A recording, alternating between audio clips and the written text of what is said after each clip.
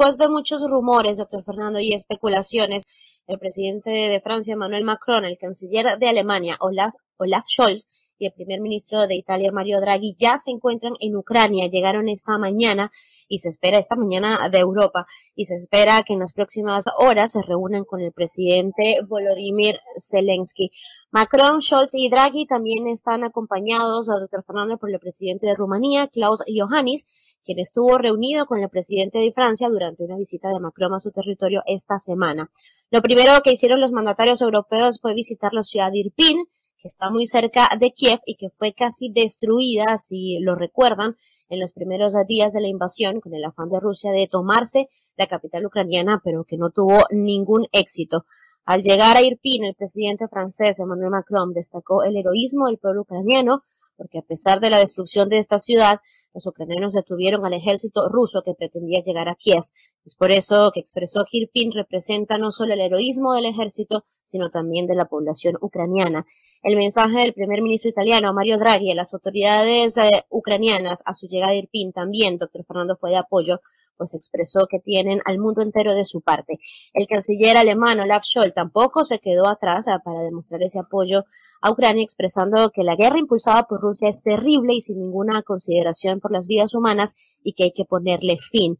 La visita de estos tres líderes europeos tiene como objetivo enviar una señal de apoyo de Europa a Ucrania, confirmarle, doctor Fernando, a los ucranianos que no están solos para enfrentarse a Rusia en esta guerra. Incluso antes de viajar a Kiev, el canciller alemán habría expresado que no solo querían demostrar solidaridad, sino garantizar también que la ayuda que están organizando en Europa, financiera, humanitaria y armamentística, continuará llegando el tiempo que sea necesario para eh, que Ucrania pueda lograr su independencia.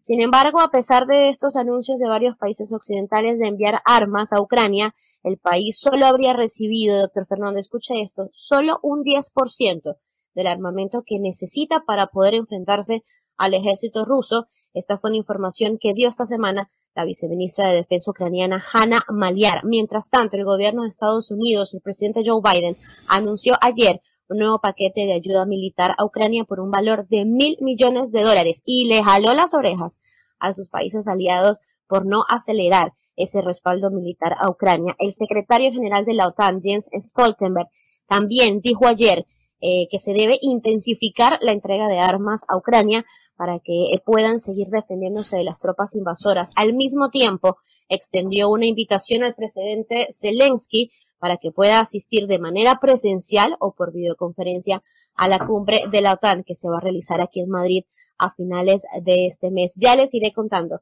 lo que resulte de la reunión de hoy en Kiev. Pedro I el Grande también atacó a Ucrania. Dios mío, ¿hasta cuándo? ¿Hasta cuándo?